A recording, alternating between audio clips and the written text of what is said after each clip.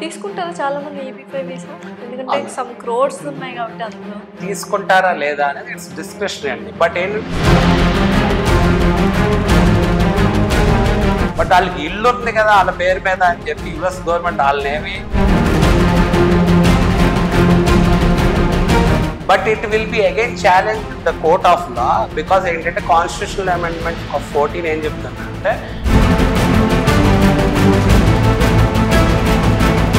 Trump వచ్చారు కాబట్టి చాలా చేంజెస్ ఉంటాయి అని విన్నాను దానివల్ల ఇండియన్స్కి ఏమైనా ఎఫెక్ట్ అవుతుంది? అక్కడ ఉన్న ఇండియన్స్ కానీ అక్కడ వర్క్ వీసా చేసుకున్న వాళ్ళు కానీ? ప్రీవియస్లీ మనం చూస్తే అంతకుముందు కూడా ట్రంప్ గెలిచారు. ట్రంప్ ఏంటంటే పొలిటికల్ క్యాంపెయిన్లో ఆయన తీసుకున్న స్టెప్ ఏదైతే ఉందో అగ్రెసివ్గా ప్రాపగండా చేసే దగ్గర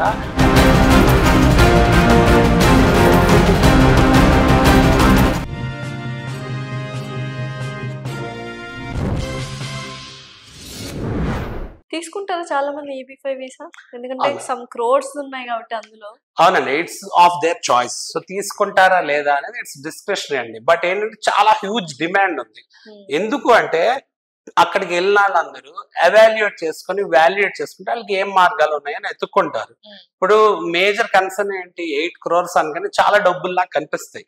బట్ ఏంటంటే ఇన్వెస్టర్ కొంతమంది మైండ్ సెట్ ఎలా ఉంటుంది అంటే ఇప్పుడు ఒక property కొనాలనుకోండి starting two to five crores లేకపోతే ఫైవ్ టు ఫిఫ్టీన్ క్రోర్స్ మనకి హైదరాబాద్లో గేటెడ్ కమ్యూనిటీస్లోనే ఉంటున్నాయి కదా మినిమం. అలానే ఏంటంటే thirty to fifty crores villa projects ఉన్నాయి హైదరాబాద్లో అలాంటి చోట్ల ఇన్వెస్ట్ చేస్తున్నప్పుడు ఈపీ ఫైవ్ కూడా ఇన్వెస్ట్ చేసే వాళ్ళు ఉంటారు. బట్ ఎలాంటి పీపుల్ ఇన్వెస్ట్ చేస్తారు అంటే వాళ్ళు మ్యాండేటరీగా యుఎస్లో సెటిల్ అవ్వాలి. సెటిల్ అవడానికి మాకు వేరే ఏం మార్గం లేదు. ఎందుకంటే వర్క్ వీసాలు వచ్చే పరిస్థితి లేదు. గ్రీన్ కార్డ్ వచ్చే పరిస్థితి లేదు మేము మా ఎంటైర్ ఫ్యామిలీ యుఎస్లో సెటిల్ అవ్వాలనుకున్నాడు ఆల్రెడీ యుఎస్లో ఉన్న వాళ్ళు కానివ్వండి లేకపోతే ఇండియా నుంచి కానీ ఎవరైనా ఇన్వెస్ట్ చేస్తారు Hmm. మోర్ ఓవర్ ఏంటంటే యుఎస్ ఆల్రెడీ వెళ్ళినాడు వాళ్ళు కొంత ఎర్నింగ్స్ సేవింగ్స్ చేసుకుంటారు Hmm. చేసు వాళ్ళు ఎర్నింగ్ సేవింగ్స్ చేసుకున్నప్పుడు లేకపోతే కొంత లోన్లు తీసుకుని ఆల్రెడీ ప్రాపర్టీస్ యుఎస్లో కొంటున్నారు Hmm. హౌసెస్ బట్ వాళ్ళకి ఇల్లు ఉంది కదా వాళ్ళ పేరు మీద అని చెప్పి యుఎస్ గవర్నమెంట్ వాళ్ళనేమి అక్కడ యుఎస్లో ఉండనీదు వాళ్ళకి గ్రీన్ కార్డ్ లేకపోతే Hmm. బట్ ఆ ఆ ఇంటిని లిక్విడేట్ చేస్తే ఆ ఫండ్. ఈ ఈబీ ఫైవ్ వీసాకి పనికి రావచ్చు. So, వాళ్ళకి మంచి. ఐడియా. ప్లస్ ఏంటంటే ఇద్దరు ఉంటారు కదా వైఫ్ అండ్ హస్బెండ్ వాళ్ళు వాళ్ళు కొంత సేవింగ్స్ ఉంటాయి three hundred to five hundred thousand dollars వీళ్ళది కొంచెం three hundred to five hundred thousand dollars ఉంటాయి. ప్లస్ బ్యాక్ హోమ్ ఇండియాలో ప్రాపర్టీస్ కొంత ఉంటాయి. అలానే ఎవరి దగ్గర ఫుల్ డబ్బులు లేవు అనుకోండి లోన్ గిఫ్ట్ కూడా తీసుకోవచ్చు. సో ఆ ప్రొవిజన్ కూడా ఉంది. బ్యాంక్స్ నుంచి తీసుకోవచ్చు నాన్ బ్యాంకింగ్ ఫైనాన్షియల్ ఇన్స్టిట్యూషన్స్ నుంచి తీసుకోవచ్చు ప్రైవేట్ లెండర్స్ నుంచి తీసుకోవచ్చు. లేకపోతే ఎవరిని ఇండివిజువల్ నుంచి కూడా తీసుకోవచ్చు. అలాంటి ఫండ్ కూడా మనం జాగ్రత్తగా డాక్యుమెంటేషన్ చేసి ఎవరైతే మనకి ఇస్తున్నారో వాళ్ళు కనుక white source of fund taxpayers అయి ఉంటే వాళ్ళు ఒక కంటిన్యూటీ అండ్ కనెక్టివిటీ పాత్వే అని చూపిస్తాం కాబట్టి ఆ ఫండ్ క్వాలిఫై అవటం అయ్యి జరిగిద్ది అనమాట ఓకే అంటే మీరు చెప్తున్న ప్రాసెస్ చూస్తే నాకు ఒక సినిమా గుర్తొచ్చింది. లక్కీ భాస్కర్ రీసెంట్గా రిలీజ్ అయింది. అందులో చూసారా మీరు? దుల్కర్ సల్మాన్ గారు లాస్ట్లో విత్ ఫ్యామిలీ మైగ్రేట్ అయిపోతారు. ఏంటి ఈబీ ఫైవ్ వీసా నేనా అవును ఈబీ ఫైవ్ వీసా ఏంటంటే ఈబీ ఫైవ్ వీసాలో ఒక్క అప్లికేషన్ అండి. సో ఏంటంటే ఒక్క ఎయిట్ హండ్రెడ్ థౌసండ్ డాలర్స్ అంటే ఒక్క ఎయిట్ క్రోర్స్తో మొత్తం ఫ్యామిలీ క్వాలిఫై అవుతారు. సో దుల్కర్ సల్మాన్ గారు ఏదైతే లక్కీ భాస్కర్ మూవీ ఉందో అదే మమ్మూటి గారు అబ్బాయి దాంట్లో ఏంటంటే స్పాయిలర్ అలర్ట్ అన్నమాట. అది చాలా బాగుంది మూవీ సో మైగ్రేట్ అవ్వాల్సిన సిచ్యువేషన్ వస్తుంది యుఎస్కి. సో యుఎస్ మైగ్రేట్ అవ్వాలి అనుకున్నప్పుడు బోస్టన్ అనే ప్లేస్లో యుఎస్లో ఒక ఇంటర్నేషనల్ హోటల్లో మనీ ఇన్వెస్ట్ చేసి విత్ ఎంటైర్ ఫ్యామిలీ మైగ్రేట్ అవుతాడు అనమాట ఈబీ ఫైవ్ వీసా ద్వారా. అది ఈ సినిమాలో చూపించడం జరిగింది. ఓకే సో మరి అలాంటి సిచ్యుయేషన్స్ ఎవరైనా ఫేస్ చేస్తుంటే అలా మైగ్రేట్ అవ్వచ్చు. ఎందుకంటే వాళ్ళు ఇల్లీగల్ అవుతుంది లేకపోతే ఇక్కడ తప్పులు చేసి వెళ్తారు. దానికి కొంచెం క్లారిఫికేషన్ ఇస్తారు? మంచి ఇంకా చాలా టెక్నికల్గా మంచి క్వశ్చన్ అడిగారు. సో డెఫినెట్గా ఏంటంటే ఇప్పుడు క్రిమినల్ కేసెస్ అలాంటివి ఉన్నాయి అనుకోండి మనం ఏ వీసా మీద వెళ్ళినా దానికి బ్యాక్గ్రౌండ్ వెరిఫికేషన్ అవన్నీ ఉంటాయి. పోలీస్ క్లియరెన్స్ అన్ని కావాలి. సో అలా మనం ఏంటంటే ఒకవేళ మనం ఏదైనా టెర్రరిస్ట్ లేకపోతే సమ్ స్మగ్లర్ అనుకోండి లేకపోతే money laundering international money laundering expert అనుకోండి ఇల్లీగల్గా సో వాళ్ళని క్వాలిఫై చేయడం అలాంటి ఫండ్స్ క్వాలిఫై అవ్వవు. ఇప్పుడు కొంతమంది ఏం అడుగుతారంటే మన క్లయింట్స్ ఎందుకంటే ఇవన్నీ హవాలా ద్వారా డబ్బులు పంపించేస్తాను అవి క్వాలిఫై అయిపోతాయా? అని అడుగుతారు. అవును. క్వాలిఫై అవ్వవు. సో క్వాలిఫై అవ్వాలి అంటే ఆ ఫండ్ ఏదైనా సరే ఎటువంటి ఫండ్ అయినా మీరు దాన్ని క్వాలిఫై చేసుకోండి. సర్టన్ అమౌంట్ ఆఫ్ డాక్యుమెంటేషన్ ఉండాలి లీగాలిటీస్ ఉండాలి టాక్సేషన్ పార్ట్ ఉండాలి. ఒక్కోసారి ఏంటంటే చాలా మంది నా దగ్గర చాలా కోట్లు ఉన్నాయి అనుకుంటారు కాబట్టి వాళ్ళకి ఏంటంటే ఆ మనీ క్వాలిఫై అయిద్దా లేదా ఎలా క్వాలిఫై చేసుకోవాలి ఎలా డాక్యుమెంట్ చేసుకోవాలి చాలా ఇంపార్టెంట్ ఎందుకు అంటే ఇప్పుడు మీ నెట్వర్త్ ఎంత అని అడిగితే ఇప్పుడు చాలా మంది నాకు చాలా కోట్లలో నెట్వర్త్ ఉంది అంటారు. బట్ ఏంటంటే ప్రాపర్టీ రూపంలో ఉన్నప్పుడు మనకి వైట్ ఇన్కమ్ కావాలి. ఆ వైట్ ఇన్కమ్లో లిక్విడేట్ చేసుకోగలగాలి. సో ఆ వైట్ ఇన్కమ్లో లిక్విడేట్ చేసుకున్నప్పుడు ఆ మనీ క్వాలిఫై అవడం జరిగింది. సో మనం ఇల్లీగల్ మెథడ్స్ ద్వారా చేసుకుంటే మనకి అక్కడ డాక్యుమెంటేషన్ అనేది ఉండదు. ఉండనప్పుడు ఆ డాక్యుమెంటేషన్ లేనప్పుడు ఆ ఫండ్ క్వాలిఫై అయిద్దా లేదా మనకి క్లారిటీ ఉండదు కాబట్టి ఇట్స్ లైక్ బిగ్ కన్స్ట్రైన్ అన్నమాట. ఓకే. సో ఇంకొకటి డొనాల్డ్ ట్రంప్ వచ్చారు కాబట్టి యుఎస్కి మళ్ళీ ప్రెసిడెంట్గా ఎలక్ట్ అయ్యారు కాబట్టి ఈ మధ్య ఎవరైనా అక్కడ పుడితే ఇండియన్స్ పిల్లలు కానీ వాళ్ళు పుడితే సిటిజన్షిప్ వచ్చేస్తుంది. బట్ దాన్ని రెస్ట్రిక్ట్ చేస్తాము బ్యాన్ చేస్తాము అన్నట్టుగా వింటున్నాము. ఏంటి కండిషన్స్ ఏంటి లూప్ హోల్స్ ఏంటి? సో యుఎస్ మీడియా సర్కిల్స్లో ఏదైతే సర్క్యులేట్ అవుతుందో మీరు చాలా అప్డేటెడ్గా ఉన్నారు. Hmm. సో ఆ ఇన్ఫర్మేషన్ ఏంటి అంటే మామూలుగా బై బర్త్ మనకి సిటిజన్షిప్ వస్తుంది Hmm. అంటే యుఎస్లో ఎవరైనా పుట్టారనుకోండి. వాళ్ళకి వాళ్ళు సిటిజన్ అవుతారు Hmm. ఒక డ్రాఫ్ట్ పాలసీ ట్రంప్ ద్వారా లైక్ రెడీ చేశారు సో అది ఏంటి అంటే బై బర్త్ అక్కడ మీకు సిటిజన్షిప్ రావాలంటే మ్యాండటరీగా one of the parents should be a citizen అని చెప్పి ఒక డ్రాఫ్ట్ రెడీ చేశారు but it will be again challenge in the court of law because ఏంటంటే కాన్స్టిట్యూషనల్ అమెండ్మెంట్ ఆఫ్ ఫోర్టీన్ ఏం చెప్తున్నారంటే బై బర్త్ మీరు సిటిజన్ అవుతారు సో దాన్ని ఎవరు ఇది చేయలేరు అని చెప్తున్నారని బట్ దాన్ని ఎందుకు తీసుకొస్తారు తీసుకురావచ్చు అనేది మనం డీప్లోకి వెళ్ళి మాట్లాడుకుంటే ఈ ఇల్లీగల్ ఇమిగ్రెంట్స్ మీద ట్రంప్ బాగా ఫైట్ చేస్తున్నారు అగ్రెసివ్గా. సో ఎవరన్నా ఇల్లీగల్ ఇమిగ్రెంట్స్ లైక్ లెట్స్ కంట్రీలోకి ఎంటర్ అయిపోయి బై బర్త్ ద్వారా ఎవరైనా పిల్లలు కంటే వాళ్ళు మళ్ళీ సిటిజన్ అవ్వకూడదు. అంటే ఇప్పుడు లీగల్గా వచ్చిన వాళ్ళకి ఇల్లీగల్గా వచ్చిన వాళ్ళకి తేడా ఉండాలి కదా అని. ఇప్పుడు ఇంత ముందు కూడా మనకి చాలా మంది మన కంట్రీ నుంచి కూడా సో ఎక్కువ యుఎస్ఏ వెళ్ళి పిల్లల్ని కనాలి అనే ఆలోచనలో ఉండేవాళ్ళు. ఎందుకంటే అక్కడ సిటిజన్ అవుతారని. విజిట్ వీసా మీద వెళ్ళి కూడా కనాలి అని చెప్పి ట్రై చేసిన వాళ్ళు ఉన్నారు.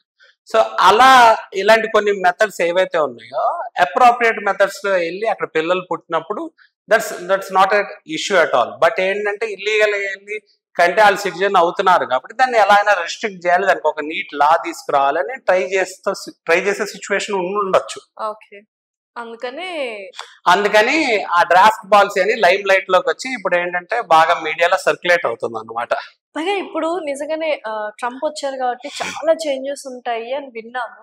ఆ, దానివల్ల ఇండియన్స్కి ఏమైనా ఎఫెక్ట్ అవుతుంది? అక్కడ ఉన్న ఇండియన్స్ కానీ అక్కడ వర్క్ వీసా చేసుకున్న వాళ్ళకి. కానీ అక్కడ dependent visa H one B visa కోసం వెయిట్ చేస్తున్న వాళ్ళందరికీ ఈ ఈబీ ఫైవ్ వీసా ఎలా మంచిగా పనిచేస్తుంది ఏంటి? సో ప్రీవియస్లీ మనం చూస్తే అంతకుముందు కూడా ట్రంప్ గెలిచారండి. Hmm. సో ట్రంప్ ఏంటంటే హిల్లరీ క్లింటన్ ఆమె కూడా ఉమెన్ అమెరికన్ నేటివ్ ఉమెన్ మీద గెలిచారు. ఏంటంటే అప్పుడు గెలిచినప్పుడు అంటే ఆమెకు ఓట్స్ పాపులర్ ఓట్స్ ఎక్కువ వచ్చినాయి కానీ ఎలక్ట్రల్ ఓటింగ్ ప్రకారం ట్రంపే గెలిచారు. ఉమ్, అప్పటికే ఏంటంటే ట్రంప్ వస్తే రేసిజం పెరిగిద్ది. సో ఎవరైతే మైగ్రెంట్స్ ఉన్నారో వాళ్ళందరూ డిఫరెంట్ రేసెస్ నుంచి వచ్చిన వాళ్ళు అవుతారు కదా. ఇప్పుడు కమలా హారిస్ గారు తీసుకోండి. సో ఆమె కూడా ఏంటంటే ఇట్స్ మిక్స్డ్ ఎథనిసిటీ ఉంది కదా ఆమె Indian and other mixed background నుంచి వచ్చారు కదా. సో డెమోక్రాట్స్ ఎక్కువ ఇమిగ్రెంట్స్ని సపోర్ట్ చేస్తారు. ఈయన అయితే ఏంటంటే లోకల్ నాన్ లోకల్ ఫీలింగ్ తీసుకొస్తాడు. అలానే ఏంటంటే రేసిజం ఉంటది. ప్లస్ ఏంటంటే ఇండియన్స్కి బాగా టైట్ అవుతాయి రూల్స్ అని చెప్పి చాలా భయపడతారు భయపడతానే నిజం. బట్ ఏంటంటే పొలిటికల్ క్యాంపెయిన్లో ఆయన తీసుకున్న స్టెప్ ఏదైతే ఉందో అగ్రెసివ్గా ప్రాపకండా చేసే దగ్గర ఆయన ప్రొజెక్షన్ కానీ ప్రొజెక్ట్ ఏదైతే ప్రొజెక్ట్ అయిందో ఆ విధానం చాలా ఇల్లీగల్ ఇమిగ్రేషన్ మీద ప్రొజెక్ట్ అవ్వాల్సింది. కొంచెం ఏంటంటే టైటనింగ్ ఆఫ్ రూల్స్ మీద కూడా ప్రొజెక్ట్ అయింది. సో టైటనింగ్ ఆఫ్ రూల్స్లో ఏమైంది అంటే ఆయన దగ్గర ఉండే అడ్వైజర్స్ ఏం సజెస్ట్ చేశారంటే ఇంకా కొంచెం స్ట్రీమ్ లైన్ చేయాలి కాబట్టి సిస్టమ్ని లైక్ డిపెండెంట్ మీద ఎవరిని వచ్చారనుకోండి యూజువల్గా వర్క్ చేసుకుంటాం లేదు. ఒక్క స్టేజ్ ఏఐడి స్టేజ్లో అయితే డిపెండెంట్ మీద వర్క్ చేసుకోవచ్చు. దానికి కూడా ఏదైనా స్ట్రీమ్ లైన్ చేసి ఏదైనా క్వాలిఫై అవడానికి సర్టన్ రిస్ట్రిక్షన్ పెడదామా? లేకపోతే హెచ్ వన్ ద్వారా అదే ఎఫ్ వన్ ద్వారా అంటే స్టూడెంట్ వీసా ద్వారా వెళ్ళి అక్కడ వాళ్ళకి వర్క్ చేసుకోవడానికి కొంత టైం ఎలిజిబిలిటీ ఉంటుందండి. స్టెమ్ బ్యాక్గ్రౌండ్ నుంచి వచ్చే వాళ్ళకి అయితే ఎక్స్టెన్షన్ కూడా వస్తుంది. ఆ ఎక్స్టెన్షన్ మీద ఏదన్నా రూల్స్ మారవాలా?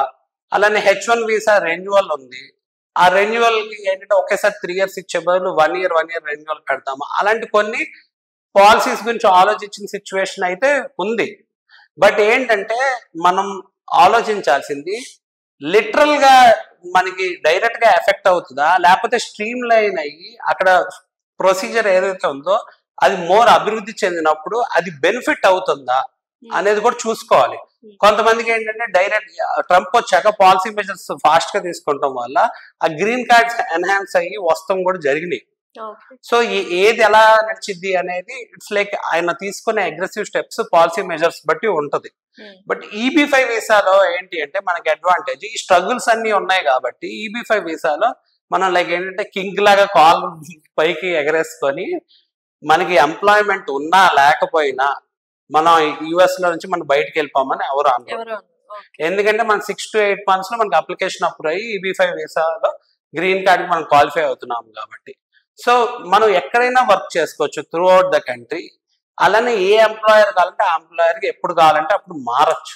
లేదంటే ఇండియా నుంచి అయినా మనం వర్క్ చేసుకునే సిచ్యువేషన్ మనకు ఉండొచ్చు. సో అది మేజర్ అడ్వాంటేజ్ నెక్స్ట్ ఏంటంటే ఇంతకు చెప్పినట్టు గ్రీన్ కార్డ్ సిటిజన్షిప్ ఫాస్ట్గా వస్తుంది సో ఎప్పుడైతే ఫాస్ట్గా వస్తుందో వేరే వాళ్ళలాగా ఇప్పుడు వాళ్ళు జగ్గులు అవుతున్నట్టు స్ట్రగుల్స్ ఛాలెంజెస్ పడుతున్నట్టు ఈ ఈబీ ఫైవ్ వీసాలో అవన్నీ ఓవర్కమ్ అయిపోయి వాళ్ళకి ఏదైతే స్ట్రెస్ లోడ్ ఉందో ఇప్పుడు ఏంటంటే ఎకనామిక్స్ కూడా ఎలా వర్క్ అవుతున్నాయి అంటే ట్రంప్కి ఎందుకు ఓట్ వేశారు అని మనం చూస్తే ఎకనామిక్స్ పరంగా చూసుకుంటే ఎకనామికల్గా కంట్రీని ఇంప్రూవ్ చేయాలి. అంటే ఇప్పుడు వార్స్ జరుగుతున్నాయి. ట్రంప్ వస్తే ఏమైనా అనౌన్స్ చేశాడు? వార్కి ఎందుకు అనవసరం డబ్బులు తగలేయటము. వార్స్ అన్ని నేను ఆపేస్తా వరల్డ్ వార్ త్రీ రాకుండా. ఎకనామికల్గా మనం స్ట్రాంగర్ అవ్వాలి లేకపోతే ఇల్లీగల్ ఇమిగ్రేషన్ ఉంది. దాని మీద ఏంటంటే ఎవరు పడితే వాళ్ళు ఎంటర్ అవుతుంటే అక్కడ బార్డర్ సెక్యూరిటీ ఫోర్స్కి మిలిటరీ ఫోర్స్ పెట్టి అది చేయడానికి వాళ్ళకి చాలా డబ్బులు ఖర్చు అవుతున్నాయి. ప్రొటెక్షన్ హోమ్ పెడతాంటే ట్యాక్స్ పేయర్స్ డబ్బులన్నీ వాటికి వెళ్ళిపోతున్నాయి.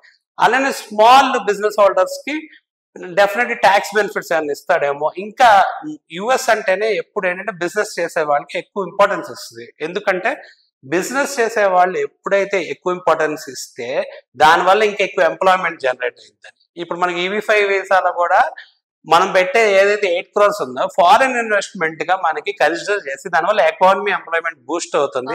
ప్రాజెక్ట్ డెవలప్మెంట్ జరుగుతుందని మనకి గ్రీన్ కార్డ్ ఇస్తున్నారు.